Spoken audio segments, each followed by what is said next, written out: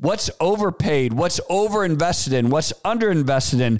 What what do you what gamble do you need to make? Hi, my name is Devon. Today I own several multi-million dollar companies. We started with $5,000 in a credit card. I don't know the easy way. I only know the hard way. Hey everyone, welcome to the Whiteboard Entrepreneur Podcast, where I give straightforward advice to fuel the entrepreneur in all of us. I'm Devon Dickinson, and today I want to talk to you about making changes. And it is getting close to the end of the year, but right now I have this kind of New Year's mindset. And and I would tell you I'm a planner. Um, I think if you've watched these podcasts, you know that you know I don't wait just for January to make decisions, or you know I have a plan every month going into the month. Um, always planning, coordinating, changing. Um, but even me, someone who loves to plan and coordinate, when this kind of end of the year is rolling around, I'm always thinking about okay, what's big in 2024? Where are we going? What are we doing? How are we dreaming big? How are we acting big? What big bets, decisions, changes are we making? And, and it's exciting. Um, but I realized after working with a lot of people over the years that many of us get this kind of excitement, but we don't often follow through and I'm not talking about your New Year's resolution and your diet. I'm talking about at your business and with whatever you're in charge of whatever organization you're running that we don't always follow through with those necessary changes or those necessary investments. And the reason is because it's hard, right? Like, so I heard someone talking about this the other day and it's kind of what got my juices flowing. But he was giving a sports analogy. You know, I like to give sports analogies, but he said, listen, he goes, if your favorite team in the world goes 500 and doesn't make the playoffs year after year and they're not making changes, like you are freaking out as a fan. You're like, what the heck is going on with this GM? Why aren't they firing people? They need to get a new coach. They need to bring in new talent.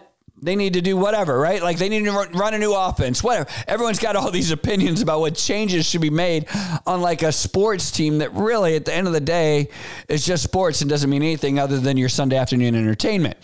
But we have something that's our like our livelihoods, the career that we run, what we do nine to five every day, day in and day out, that which we pour our life into but somehow we start to become okay with the mundane right? You become okay with average growth, right?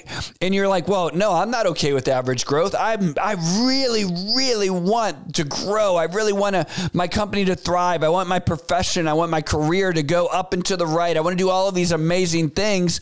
And I'm frustrated that they're not. But I'm going to tell you probably the reason that you're frustrated and you think that you want growth, but you're not getting it is because just like that GM, you're unwilling to make the hard changes. And so you go, well, yeah, I'll make hard changes. Well, really, will you? Because listen, those sports teams, right? What has to happen is somebody's going to lose a job, right? That's not easy right? And so let's bring this home. Let's bring this to your house. Let's bring this to the organization that you run. Let's bring this to the, the folks around you. Like you have to evaluate in your company what's working and not what's not working? What's overpaid? What's overinvested in? What's underinvested in?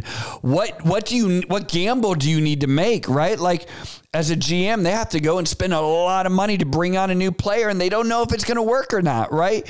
And that's scary right? And so you you're looking at your company going, Oh, I really want to launch this new product line. I really want to go into this new geographic market, but it's scary and we'll get mad at the GM for not making the changes or doing the taking that chance. But when it comes to us, uh, we treat our, we give ourselves a little bit of ease and we're like, oh, you know what? Actually, maybe I'm okay with a 500 season. Maybe I'm okay with 2% year over year growth. Maybe I'm okay with making just a little less last year than I made this year. Right. And so we start to literally accept mediocrity because we're unwilling to change. But if you're listening to this podcast, this is, that's not you. If you're listening to this podcast, you're going, no, I need to, I know that I need to make these changes. I know that I need to evaluate. And so let's think about some of these things that you need to evaluate going into this new year. Like, I think there's a ton of things. These are just some that I'm going to list off for you real quick off the top of my head. The one and the hardest one I'm going to start with is personnel. I talk about this all the time, and I'm not heartless. Like, I'm not. This is difficult for all of us, right? And oftentimes it doesn't mean that people need to leave the organization, but like you have to evaluate your personnel personnel. Are your people providing the value that they're being paid for? Has something changed in the organization? Every year are they growing? Are they pushing? Are they thriving within your organization? Are they helping your organization achieve the goals that you want them to achieve? And it doesn't necessarily mean that you know they're doing a bad job but the roles might change right? Like in an organization you might not need another wide receiver right? You might have too many wide receivers and you need a running back. And you can see that as a fan you're like we really need to trade one of these wide receivers and get a running back. But then when you look in your organization situation, you're like, uh, I'm really overstaffed in this side and I'm understaffed on this side. And are you willing to do those hard things with your staffing, even because, like I said, this is hard. Those people that you're overstaffed on this side of the the uh, of your company might be doing a great job, but you don't need three of them. You only need two, right? Or you only need one, and you need somebody else over here, and you need to free up this money so that you can bring somebody over here, so you can get someone in your organization that's that running back, right? And so, you know, personnel is difficult. That's why I encourage you to start there, think there. Also, think about your product offering, right? Like, what needs to evolve in your product? Like, have you uh, invested enough? Are you growing? Is your product growing? Is it evolving? Is it getting better? You know, is your competition beating you from an offering standpoint? Like really evaluating, you know, your product. Also, you need to evaluate yourself, right? Like, are you doing what you need to be doing as a leader, right? Maybe you need help. Maybe you need insight. Maybe you need someone who's going to mentor you. Maybe you need someone to be accountable to. Maybe you actually need to give up certain areas of responsibility within your company that you're just not, frankly, good at. Like maybe you shouldn't be running sales. Maybe you shouldn't be running uh, the engineering team. Maybe you're a bit of an old dog and there needs to be a new trick, right? Like, and these are the things that you have to evaluate. Should we be working remote versus in the office, right? Uh, should we be having travel expenses versus Zoom meetings? Should we be reevaluating kind of the allocation and marketing? How are we spending our marketing spend traditionally versus where should we be spending it in 2024? You need to evaluate all of these different areas, different divisions, different spends within your companies, and then also evaluating the opportunities.